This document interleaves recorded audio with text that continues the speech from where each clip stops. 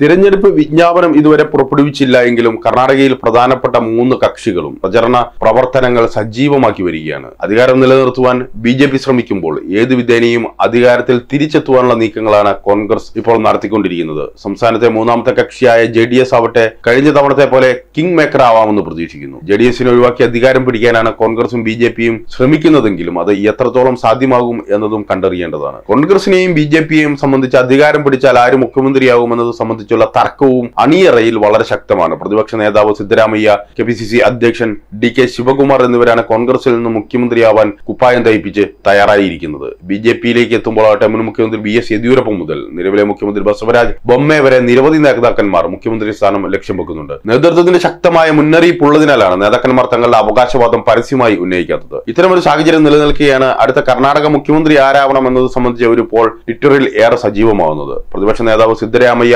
ദക്ഷിണേന്ത്യൻ സംസ്ഥാനത്തിന്റെ അടുത്ത മുഖ്യമന്ത്രിയാകുമെന്നാണ് ട്വിറ്റർ പോളിൽ പങ്കെടുത്ത ഭൂരിപക്ഷം ആളുകളും അഭിപ്രായപ്പെട്ടത്. മൈക്രോ ബ്ലോഗിംഗ് സെറ്റിൽ നിരവധി ഫോളോവേഴ്സ് ഉള്ള പി എൽ എ കർണാടക എന്ന ട്വിറ്റർ ഉപയോക്താവ് ഫെബ്രുവരി മൂന്നിന് ആരംഭിച്ച പോളിൽ നിരവധി ആളുകളാണ് പങ്കെടുത്തത്. കർണാടക രാഷ്ട്ര സമിതി പാർട്ടിയിൽ നിന്ന് രവികൃഷ്ണ റെഡ്ഡി പ്രാദേശിക പാർട്ടിയായ ജനതാദളിന്റെ രണ്ടാമത്തെ കമാൻഡറായ എച്ച് ഡി കുമാരസ്വാമി മുൻ മുഖ്യമന്ത്രി സിദ്ധരാമയ്യ നിലവിലെ മുഖ്യമന്ത്രി ബസവരാജ് ബൊമ്മെ എന്നിവരെയായിരുന്നു പോളിൽ ഉൾപ്പെടുത്തിയത്. യെദ്യൂരപ്പ ഡി കെ ശിവകുമാർ എന്നിവരെ ഉൾപ്പെടുത്താതെയുള്ള പോളിനെതിരെയുള്ള വിമർശനവും ശക്തമാണ്. പക്ഷെ ഒരു പാർട്ടിയിൽ നിന്ന് ഒരു നേതാവ് എന്ന നിലയിലാണ് അല്ലെങ്കിൽ ഈ പോളിൽ വോട്ടുകൾ വിഭജിക്കപ്പെടുമെന്ന നിലയിലാണ് തങ്ങൾ ഒരു പാർട്ടിയിൽ നിന്നും ശക്തരായ ഓരോ നേതാക്കന്മാരെ പോളിന് വേണ്ടി തിരഞ്ഞെടുത്തത് എന്നാണ് ഈ ട്വിറ്റർ ഉപയോക്താവ് നൽകുന്ന വിശദീകരണം. എന്തായാലും വോട്ടെടുപ്പിൽ മുപ്പത്തി അഞ്ച് പോയിന്റ് നാല് ശതമാനത്തിന്റെ പിന്തുണ കോൺഗ്രസ് നേതാവ് സിദ്ധരാമയ്യക്കാണ് ലഭിച്ചത്. മുഖ്യമന്ത്രിയായ ബസവരാജ് ബൊമ്മയ്ക്ക് ലഭിച്ചത് കേവലം എട്ട് പോയിന്റ് ആറ് ശതമാനത്തിന്റെ പിന്തുണ മാത്രമാണ്. കർണാടക രാഷ്ട്രസമിതി നേതാവ് രവികൃഷ്ണ റെഡ്ഡിക്ക് ഇരുപത്തി ആറ് ദശാംശം അഞ്ച് ശതമാനത്തിന്റെയും ജെ ഡി എസ് നേതാവ് കുമാരസ്വാമിക്ക് ഇരുപത്തി ഒമ്പത് ദശാംശം അഞ്ച് ശതമാനത്തിന്റെയും പിന്തുണ നേടിയെടുക്കുവാൻ വേണ്ടി സാധിച്ചു. B J